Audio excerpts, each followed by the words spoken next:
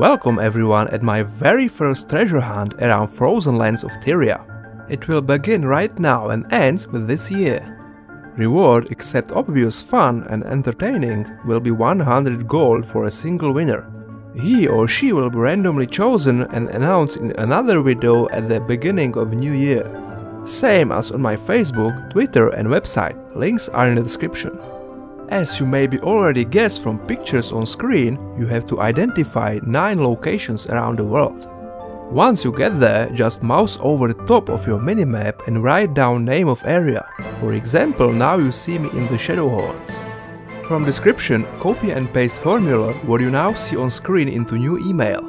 Fill area names what you discover to corresponding spots and send it to tekkitsworkshop at gmail.com with subject Winter Treasure Hunt. Also, don't forget to mention your game tag or else it will be hard to send you reward.